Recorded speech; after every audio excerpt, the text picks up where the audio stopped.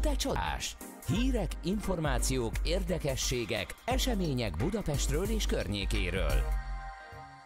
A vonalban itt van velünk Simon Gergely, a Greenpeace légszennyezettségi szakértője. Szia, jó reggelt! Jó reggelt, sziasztok! Szia, jó reggelt! Illetve a videós csatornánkon azoknak mondom, akik eh, tudnak minket követni, eh, mármint eh, videón is, tehát nézni a műsort.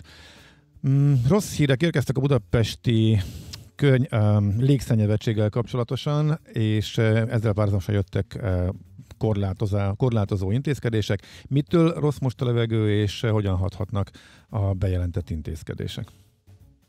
Hát ugye gyakorlatilag uh, lehet tudni, hogy amikor ilyen hideg, ködös, párás idő van, akkor nagyon meg tud ülni a rossz levegő a magyar nagyvárosok elég jelentős részébe. Ugye Észak-Magyarország, Budapest, ami különösen érintett a folyamatos határérték feletti légszennyezettséggel.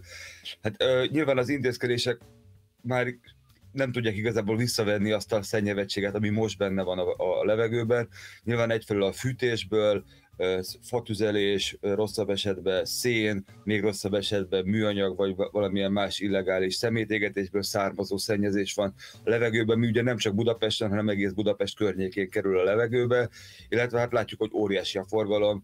Sokan azt mondják, hogy az ingyenes parkolás még tovább generálja a nagy forgalmat, és, és ugye a kövlekedésből, különösen a dízeljárművekből, azon belül is inkább a régi dízelekből, autókból, buszokból, kistérautókból rengeteg részeske kerül a levegőbe, levegőbe, és ez mind ugye károsítja az egészségünket, és ez különösen azért aggasztó, mert egyre több tanulmány mutat rá arra, hogy, hogy a koronavírus rossz levegőben még súlyosabban hat, hiszen még jobban irritálódnak a légútjaink, még könnyebb, még kitettebbek vagyunk ilyenkor a vírusoknak. Uh-huh. Igen, nekem is pont ez jutott eszembe, ugye, hogy egy tüdő problémát okozó járvány közepén ülünk, és akkor még plusz terheli a, a légzőszerveinket ez a rossz levegő.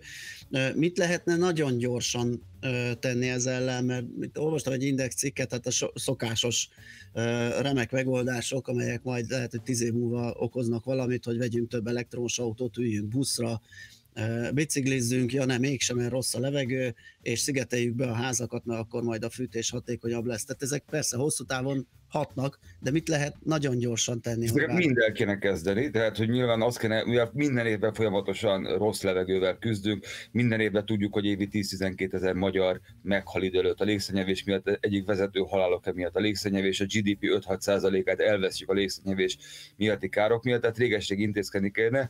Amit mi például a Greenpeace részéről javaslunk már nagyon régóta, hogy ne csak smogi adó esetén, hanem gyakorlatilag mindig tiltsák ki a kifejezetten régi 15 Aha. évesnél régebbi dízeleket, dízeleket, és 20 éveknél régebbi benzines járműveket a városokból, és nyilván az kéne, hogy minél előbb lecseréljük például a fővárosi füstotokádó ősrégi buszokat, ez valószínűleg állami segítséggel lehet, most elindult valami, de nagyon lassan, ezeket el kéne tüntetni, ezek iszonyatosan szennyeznek, és ugyanúgy a régi füstokádó autóknak is hiszem, hogy helye van a városba, ezzel már önmagában jelentősen nagyon sok városban Európa szerte lecsökkentették a szennyevést, hogy ezeket a nagyon régi ócska járműveket száműzték, pont a is nőtt meg egyébként a dízelek aránya és száma Magyarországon, mert ugye német városokból először azt a más európai városokból is kitiltották ezeket, illetve azt gondolom, hogy a hatóságoknak is nagyon jól el, gyorsan el kéne járni. Ugye azért általában minden szomszédságban tudják, hogy ki az, aki, aki eh, fekete füstfelhőt ereget a kéményéből, mert szeméttel meg ezzel azzal éget, és azt látjuk, hogy rendszeresen nem járnak el. A hatóságok pedig legtöbbször nem szegénységből teszik ezt a lakosok, hanem egyszerűen tudatlanságból, vagy, vagy, vagy hogy mondjam, nem törődömségből, és ez nyilván belütközik a jogszabályokba, az lenné, hogy ez ellen mindegy inkább föllépnének. Tehát, hogyha valaki, hol mhm. látják, hogy tényleg fekete füst jön ki egy kéményből, akkor oda mennének és, és nem engednék. És nyilván a szociális tűzifa program keretében mindenkinek száraz tűzifát biztosítsanak, hiszen ugye sokszor halljuk, hogy nedves tűzifát adnak, ami füstöl is, és nem is ad meleget. Tehát szerintem az azonnal intézkedésekben az kellene, hogy föllépni az illegális szennyező fűtés ellen, odafigyelni és föllépni ellene, plusz én azt gondolom, hogy nagyon hamar el kéne kezdeni ezeket a szennyező járműveket lecserélni és kitölteni a városainkból. Egyszerűen nem alapvető emberi jog az, hogy, hogy, hogy, hogy rákelt anyagokat terheljük a, a, a városaink környezetünk levegőjét. Igen, de szociális kérdés is, tehát hogyha nem tudnak mással fűteni olyan helyzetben levő emberek, akkor ők meg megfagyhatnak, tehát erre Azért Erre kell, kell a szociális tűzifa programot jól mhm. működően és hatékonyan működtetni. Van egy ilyen program, elvileg juttatnak szociális tűzifát az embereknek, de azt viszont nem szabad eltűrni, hogy, hogy mondjam, hogy szociális okokból tényleg iszonyat mennyiségű rákkeltő méreggel uh-huh. terheljük a levegőnket. Nem nézzük el szociális okból azt se, hogyha mondjuk valaki kirabol minket, vagy, vagy, vagy lop egy boltba. Ugyanúgy a, a, a szeméttelfűtés se egy olyan dolog, amit tolerálni kéne a társadalomnak, főleg, hogy ugyanúgy a, a törvényekbe ütközik, mint mondjuk a, a, az étellopás. Uh-huh. Szociális szociális kérdéseket szét kell választani a környezetvédelmi kérdésektől.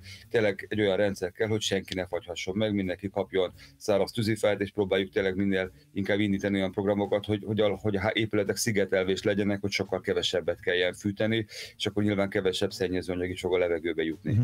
Ez a mostani kategória, hogy egészségtelen a levegő, ami a tegnapi adat, ez, ez hogy, vannak, hogy vannak itt a kategóriák, hogy ez képes, hogy jönnek sorba? Uh-huh. Tehát a részecske szennyezésnél, a kiszálló pornál a határérték másfélszeresét, mikor eléri, tehát 50 mikrogram per köbméter helyett, ami már eleve borzasztó káros, 75-öt mérünk a levegőbe, akkor mondjuk azt, hogy, hogy ez a tájékoztatási szint. Uh-huh. És amikor a százat elérjük, a dupláját a, a napi határértéknek, ugye két napon át, akkor uh, van smogriadó. Részecske szennyezésnél és nitrogéndioxidból, ami ugye elsősorban a dízelekből jön, de emellett az ilyen uh, egyéni gázfűtésből is, ott pedig az órás határértéket lépjük túl nagyon sokszor, viszont ott a smogriadós szinttől még messze voltunk, de ez az órás határérték túlépési szint is pont arra elbőven elég, hogy a nyálkártyáinkat kimarja órunkba, a szemünkbe, szánkba, és pont ezért mondjuk sokkal könnyebben bejuthat egy, egy, egy, egy kórokozó, egy vírus a szervezetünkbe az irritált nyálkahártyákon, de önmagában tudjuk, hogy azok az emberek, akik rossz levegőbe élnek, példa erre Észak-Olaszország volt, de sajnos valószínűleg mondjuk Budapest is egy ilyen, ilyen területnek minősül. Ott az derül ki, hogy sokszor a koronavírus is például halálosabb és, és súlyosabb következményekkel jár azoknak az embereknek, akik már hosszú évek óta ki vannak téve a rossz levegőbe, tehát van egy rövid távú hatása is, uh-huh. ami negatív a vírusokkal kapcsolatban, illetve egy hosszú távú is hatása is a szennyezett levegőnek. Uh-huh. Oké. Okay. Hát, bocsánat, egy félszóban említetted ugye, hogy ez az egészségügyi határérték is rendkívül káros. Bennem felmerült, hogy esetleg úgy van kialakítva, hogy ez a rengeteg minden tennivaló, amit felsoroltál, ez, ez sajnos egyelőre várat magára, ezért lehet, hogy ez az egészségügyi határérték is magasabb, mint a valós.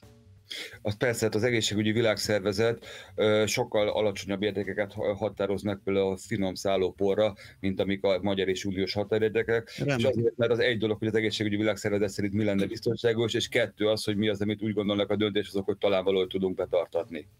Igen, mert hogy azért általában egy hét után szokott jönni egy kis szellő és kisöpré, és az időjárás megoldja a helyzetet, a mideg párna eltűnik, mielőtt újra beáll. Hát de közben rengeteg ember meghal, uh-huh. rengeteg ember megbetegszik, tehát pontosan tudjuk, hogy, hogy, hogy, hogy ennek azért nagyon-nagyon súlyos egészségügyi következményei vannak, hogy ilyen rossz levegőbe kell élnünk. Uh-huh. Oké, okay, hát boldogabbak, optimistábbak nem lettünk, de köszönjük szépen, hogy ismét felhívtad a figyelmet erre, hogy szép napot, jó, jó munkát! munkát szép napot neked! Köszönjük szépen nektek is, Simon Gergelyel, a Greenpeace légszennyezettségi szakértőjével beszélgettünk, hát tényleg sokkolóak ezek az adatok, de ezek szerint a határérték is, hát meg az is, hogy mikor történik majd valami, ami helyre teszi ezt a helyzetet. Hát éppen egy hangulatában ideillő szomorkás, ám csodálatos dal következik. Nekünk a Gellért hegy a Himalája. A Millás reggeli fővárossal és környékével foglalkozó robata hangzott el.